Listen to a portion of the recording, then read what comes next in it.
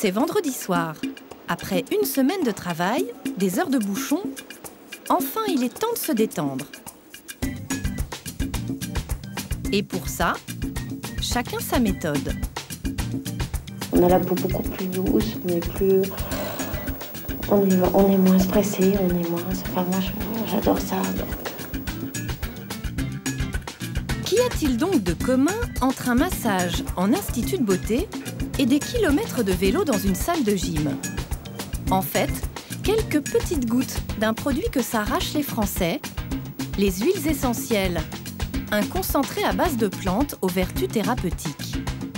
Donc j'ai mélangé euh, de l'huile végétale, l'huile d'onagre, et là je suis en train de mélanger, euh, je mets, euh, du bois de rose et du citron. Et donc le bois de rose et le citron, ça va vraiment avoir un effet anti-âge, repulpant, ça va permettre de redonner un bon coup d'éclat. Et là, me direz-vous, où sont les huiles? Dans le tissu du t-shirt. Il fallait y penser. Clairement, on sent bien, surtout l'odeur de citron. L'huile d'olive un petit peu moins, mais on la sent plus après. Et euh, voilà, c'est super agréable. Tout de suite plus agréable que les odeurs de transpiration. Et ce n'est pas seulement une question d'odeur. Les mouvements et la chaleur du corps libèrent des microcapsules d'huile essentielle qui se diffusent du textile à la peau. Il y a le citron qui permet bien évidemment la régénérescence. Il y a le romarin qui permet évidemment de mieux récupérer, on va dire, et l'huile d'olive qui a aussi des propriétés de récupération et de régénérescence. Les bons vieux remèdes de grand-mère ont désormais les honneurs de la technologie. Le succès des plantes marque-t-il la fin du règne chimique ou annonce-t-il seulement l'émergence d'un nouveau business?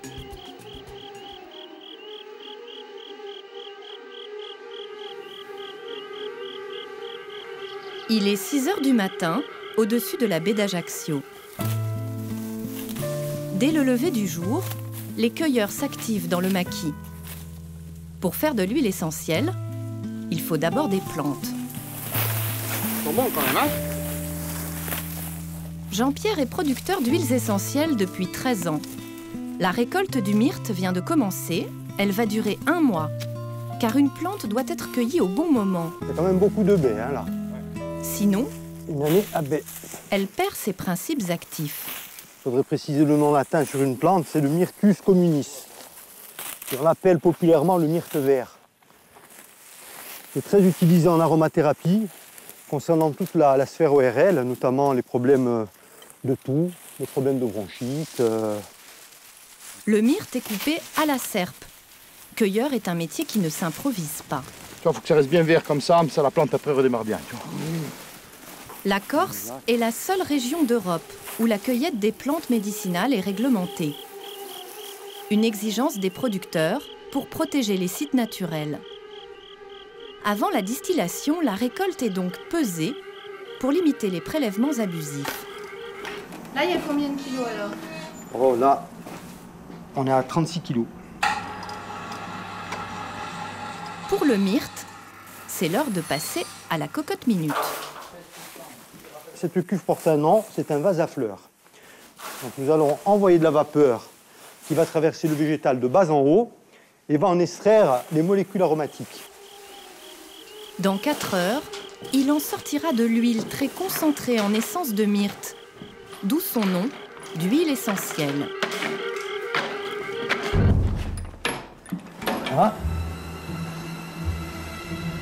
Il faudra près d'une tonne de végétal pour extraire à peine 2,5 kg d'huile essentielle.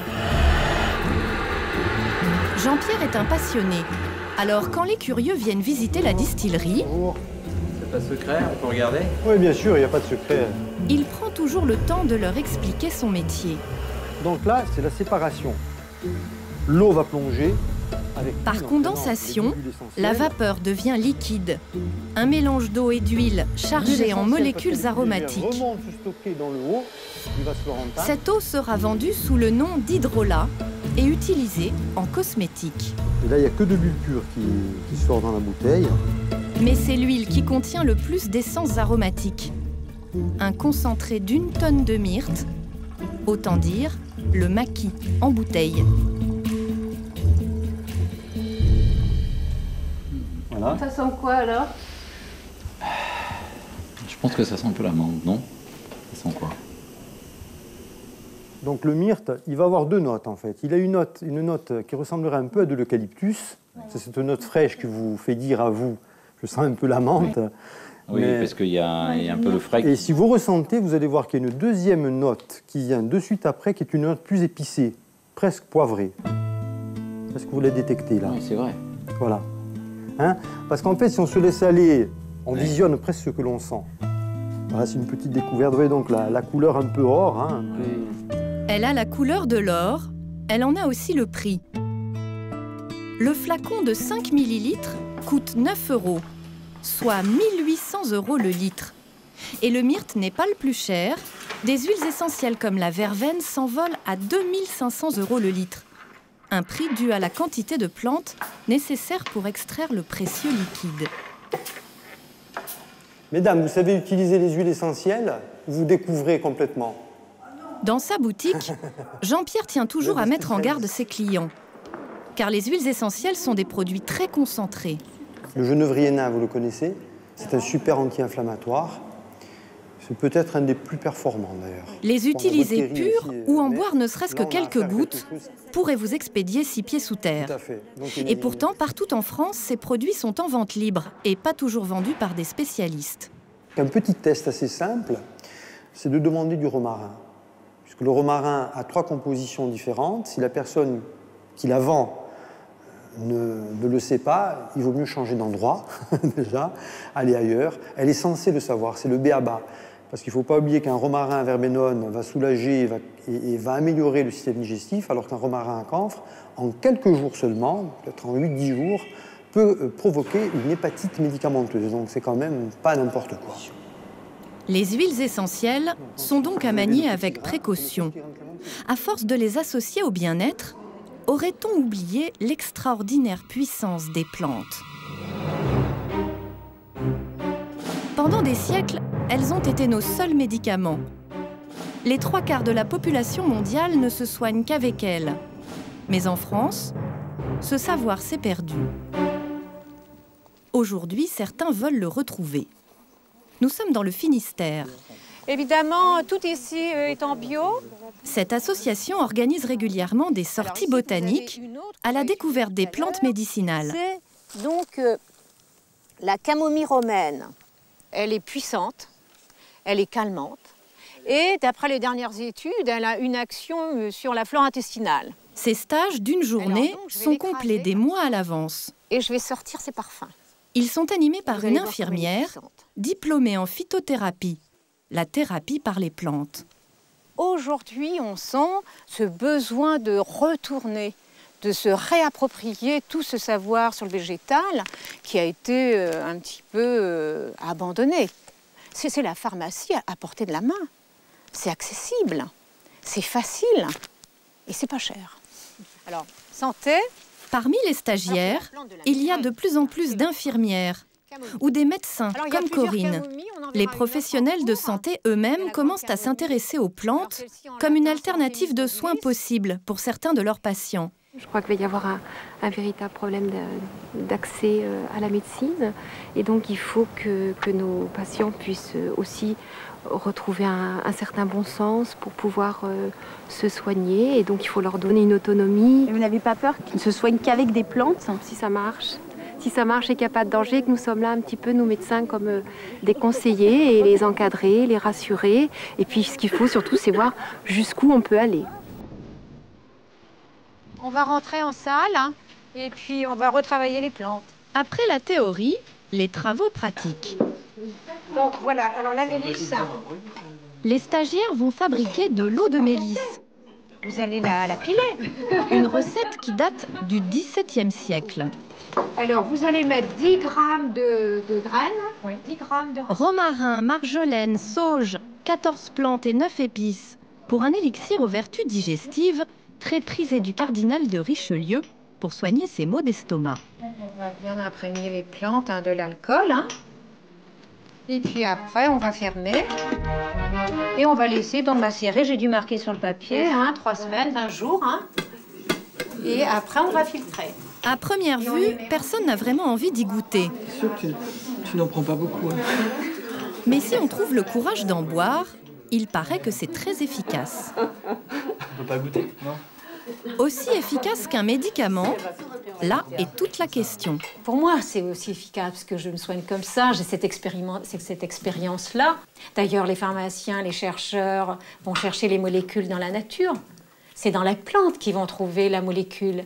Après, on va la reproduire euh, par euh, synthèse ou par génie génétique. Mais c'est la molécule que j'aurai extrait d'une plante que je vais reproduire maintes et maintes fois. Et je vais la prendre, sera une molécule. Ici, c'est des centaines de molécules. Le problème de ces molécules, c'est qu'on n'en connaît pas toujours tous les effets. Avec les plantes, mieux vaut donc être prudent, car sous leurs jolis pétales, certaines sont parfois dangereuses. Dans ce petit village aux abords de Toulon, nous sommes allés rendre visite à Pauline, une jolie petite fille de 4 ans que sa maman, Christelle, a bien cru perdre à cause de quelques petites gouttes d'huiles essentielles. Va, va ranger ton truc, on va pas tarder à manger.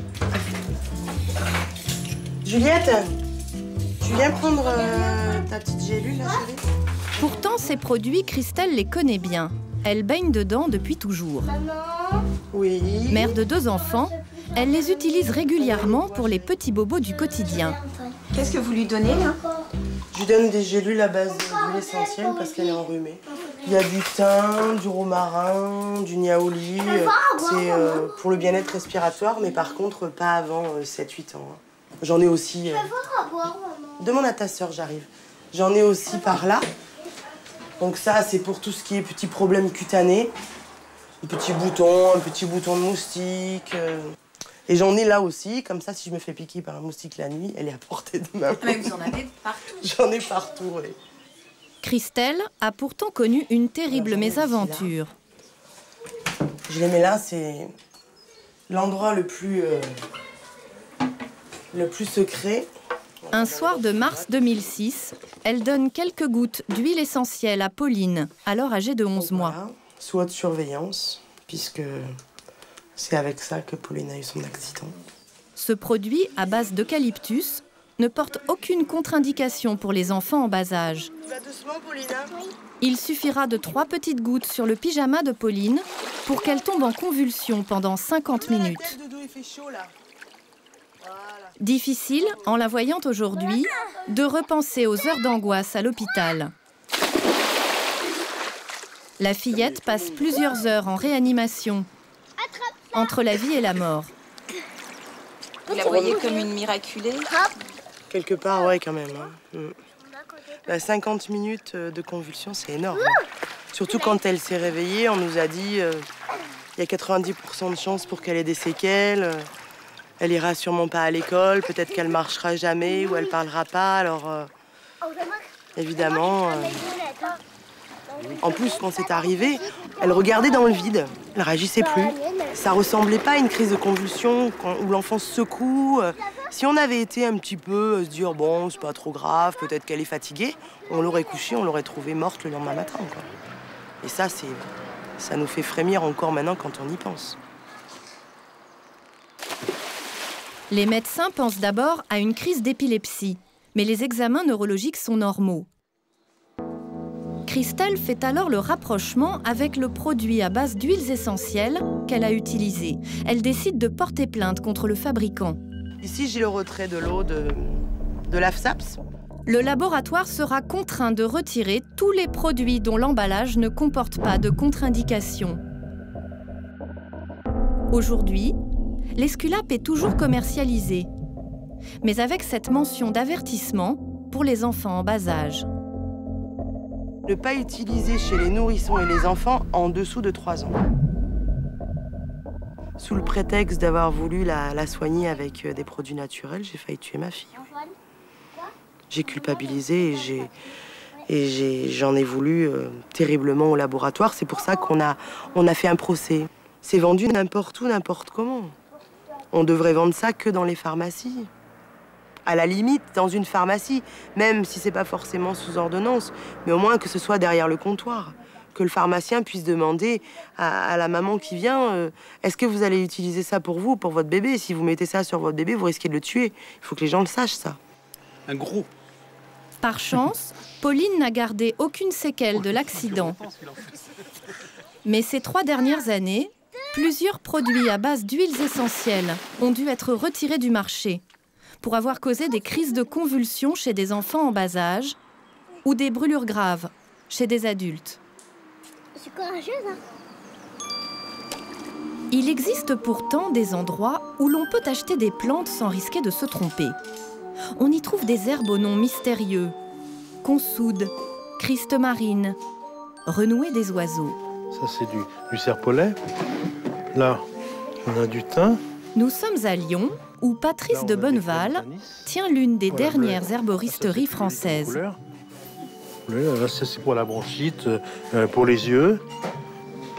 Le genêt à balai, qui est beau aussi pour ses couleurs, mais qui doit se prendre avec précaution parce qu'il euh, il, agit sur le cœur.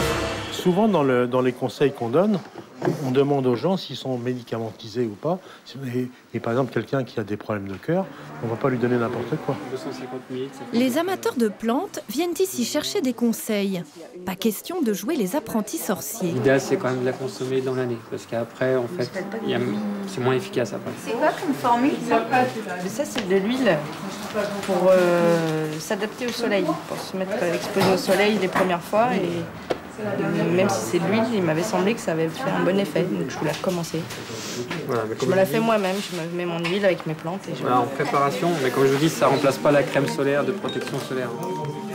Il reste moins d'une centaine d'herboristes en France. Et pour cause, ce métier a été interdit en 1941. Une des rares lois édictées sous Pétain, qui n'a jamais été abrogée.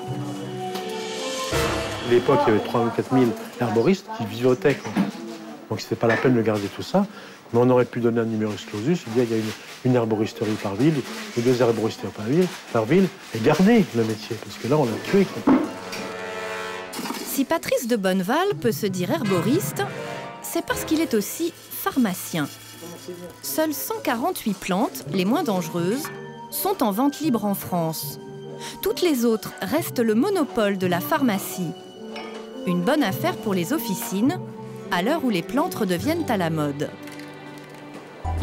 Et ce n'est pas le seul business qui se développe autour des plantes.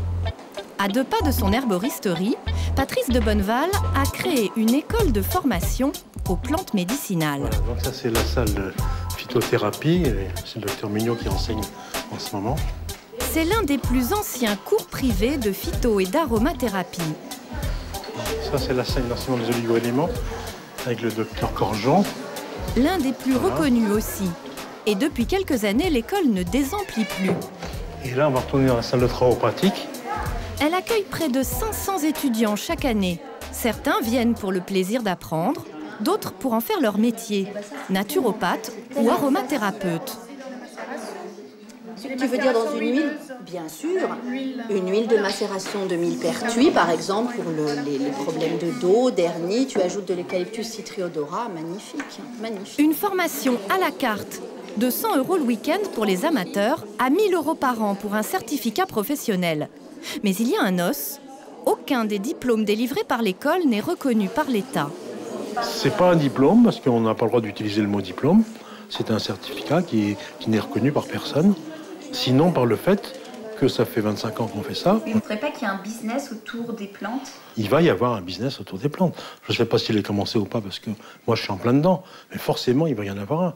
On voit par exemple plein d'aromathérapies qui s'installent partout, où ils ont été formés, comment ils ont été formés, j'en sais rien. On voit plein de gens qui s'installent comme euh, phytothérapeutes, mais comment est-ce qu'ils ont été formés? En tout cas, ils ne sont pas passés chez nous. Pas de diplôme officiel, en un week-end de cours, on peut s'improviser thérapeute par les plantes. Alors certains ont flairé le bon filon. Sur Internet, les formations en phytothérapie fleurissent. Certaines s'élèvent à plus de 4000 euros pour des diplômes qui n'ont en fait aucune valeur légale.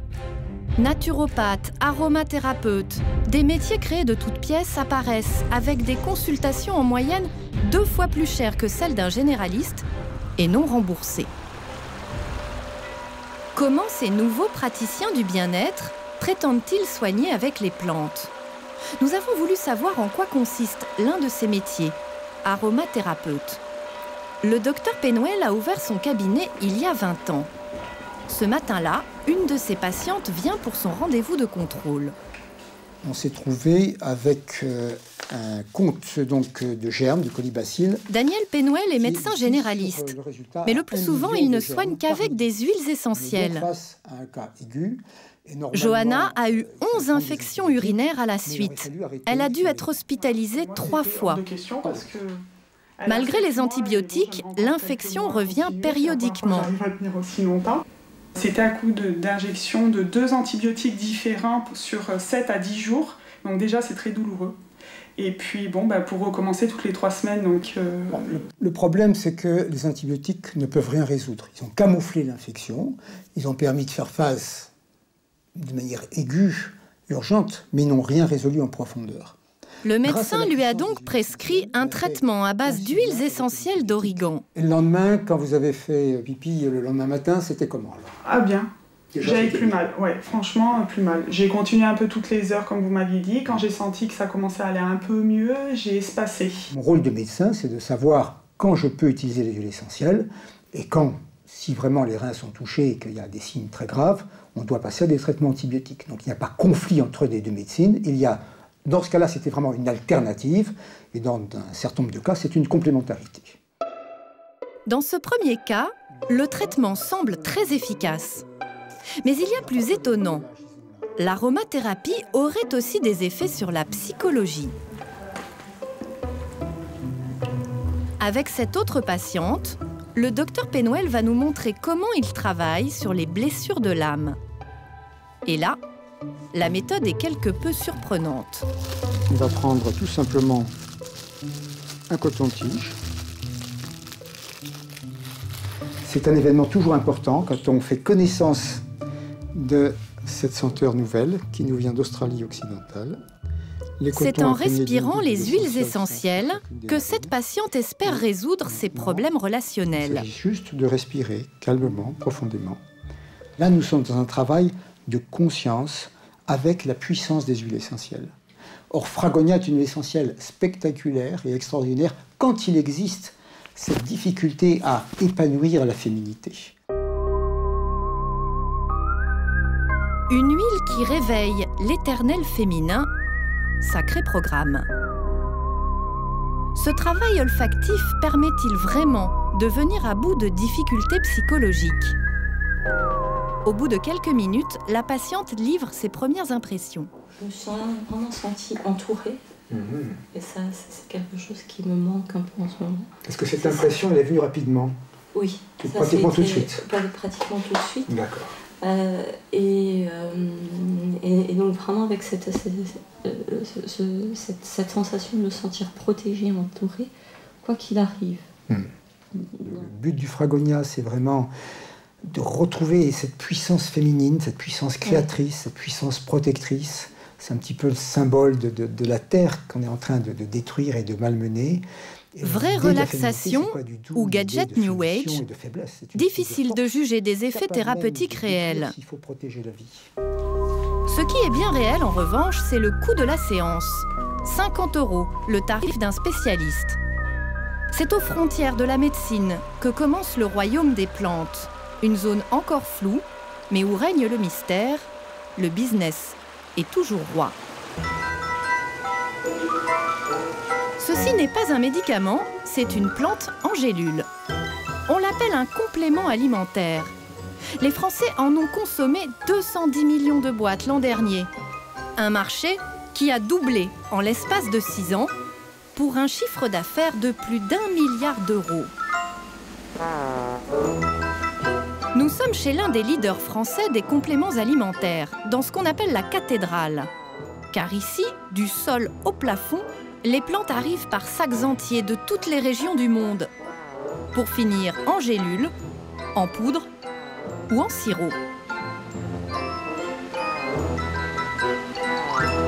La mamélis, c'est une plante qui a des vertus circulatoires. On va l'utiliser en fait pour euh, tout ce qui est impatience, euh, jambes lourdes en fin de journée ou des choses comme ça.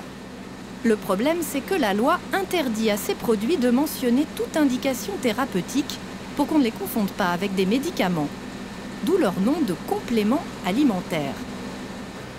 On n'a pas le droit de... euh, enfin, on ne peut pas dire qu'on va soigner ou euh, prévenir une, une maladie. Donc ça, clairement, c'est réservé aux médicaments.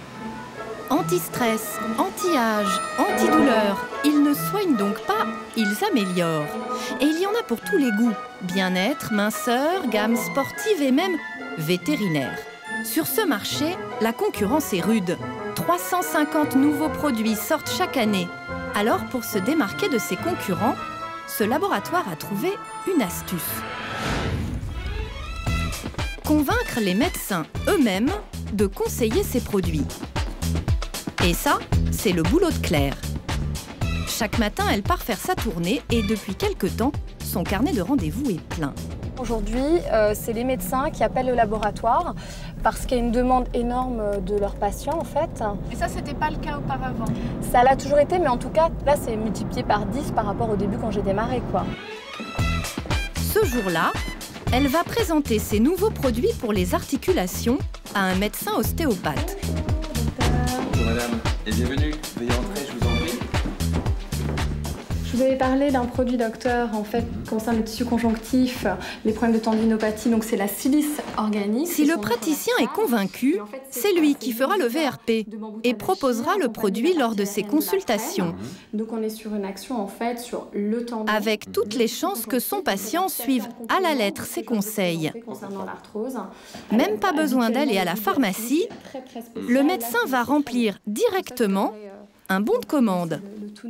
Le patient sera livré à domicile en 48 heures chrono. Excellent. Voilà. C'est le patron du labo lui-même qui a eu cette brillante idée. Je vais te faire respecter si je mets pas de machin. Grâce à sa méthode, Christian Fegnoux est devenu le leader des compléments alimentaires vendus par correspondance. Un mode de commercialisation qui lui a permis de convaincre toujours plus de consommateurs tout en lui évitant de payer les intermédiaires comme les pharmacies ou les magasins de produits naturels. Business is business. Quand je chante ces deux circuits de distribution, eh bien, j'ai un produit qui est moins cher sur le marché. Et que le distributeur, il faut qu'il gagne sa vie. hein, je, le conçois, je le comprends. Et, et donc, je pouvais offrir aux clients un produit qui oscillait entre 25 et 60 moins cher que dans ces circuits de distribution. Donc, euh, le client s'y retrouvait. Et puis moi aussi, parce que, euh, bah, je dirais, euh, j'étais payé tout de suite. Résultat, un chiffre d'affaires en hausse de 10% en pleine période de crise. Et ce n'est pas fini. Le marché des compléments alimentaires devrait encore doubler d'ici 2012.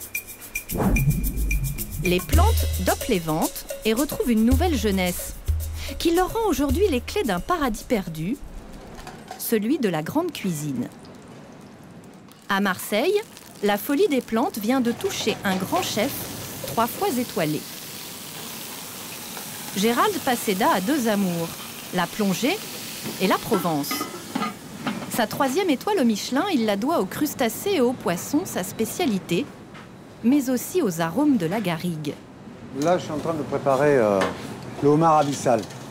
Voilà, donc on reconstitue là une fausse carapace, juste pour la couleur aussi. Mais le secret de la recette, c'est un vieux remède de grand-mère, la mauve. Et en fait, on, va utiliser cette mauve qui est ici, qui est le départ un petit peu de tout, dans le sens où ma, grand-mère Mélanie adorait dans les garrigues, si vous voulez, cultiver cette fleur, parce que c'était une plante qui aide vraiment à, drainer et euh, qui aide aussi à la circulation de, pour ces jambes lourdes à l'époque, etc., etc.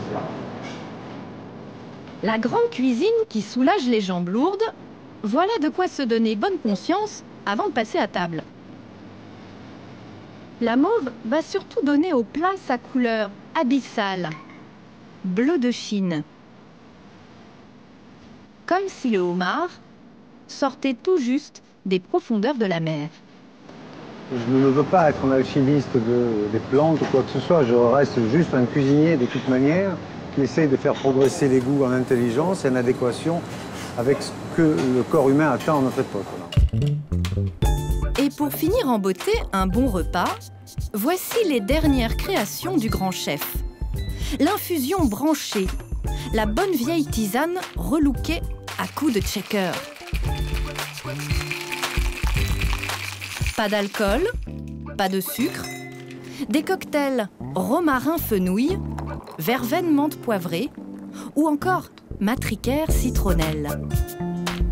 En fait, on dirait presque un jus de fruits, hein, comme ça, quand c'est servi. Dans ce cocktail-là, qu'est-ce qu'on retrouve comme plante? Ça, c'est l'anse des enfers, hibiscus, rose pâle. Bon, il y a la tomate, bien entendu, qui n'est pas une place, la confiture de tomate qui est aussi un apport, là. Après, nous avons euh, rooibos vanillé et canneberge. Très, très peu de sucre, et ça désaltère. Et puis, je peux vous dire une chose, ça draine aussi facilement. Vraiment, c'est un truc incroyable, quoi. Un cuisinier, c'est ça. On doit donner du bonheur, du plaisir, donc forcément, on doit aussi aider le corps à ce qu'il se sente bien, non pas que l'esprit non plus. Après le cocktail de fruits, voici donc le temps du cocktail drainant. Moins glamour peut-être, mais signe d'une époque où le bien-être est roi. Et où, en trinquant, on peut vraiment dire à votre santé.